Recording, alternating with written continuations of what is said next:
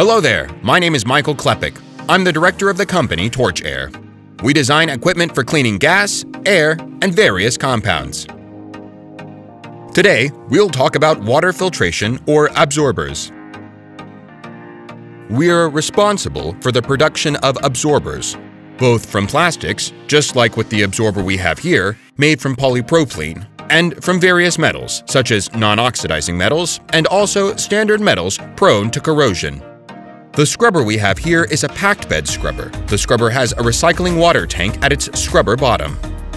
The recycling water tank accumulates water, cleans the water, and then returns it for circulation into the column, the column's apparatus. The scrubber also consists of a gas inlet flanges, a sprinkler system which is mounted on top of the scrubber, and many packings. Inside the scrubber, you'll find these packings. The packings evidently are motionless and fixed on the support grid, there will be about 1 to 1.5 meter cubed of such fixed packings here. The job is to create the proper filtration area. Also, the fixed packings are sprinkled with water or a special liquid. This scrubber operates to the following principle. Contaminated gas gets into the inlet flange and flows further into the column, where the packings are located. The packings are fixed and motionless. In this case, we have Pall rings here. The packings are constantly sprayed under pressure by several nozzles from above. This means that the entire space with packings is sprayed by all of the nozzles simultaneously. The packings are sprayed with water, or water with some admixture, with alkali or something else, and clean the inlet gas.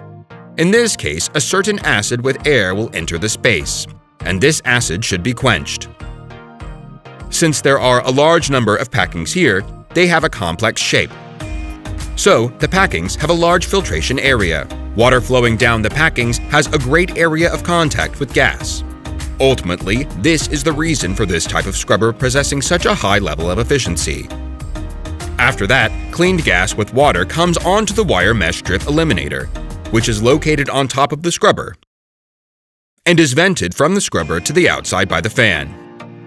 The order for this scrubber was placed with our company by an electroplating factory. It so happens that if you have an electroplating plant, you must use various chemicals which are actively corrosive. Basically, this means that the chemicals are capable of destroying metal. And to avoid this, the customer uses polypropylene products in their production process, like our scrubber. Therefore, polypropylene costs the same as good quality steels.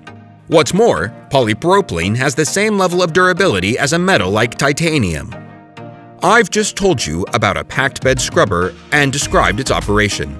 I believe you now possess a much better understanding of how it works.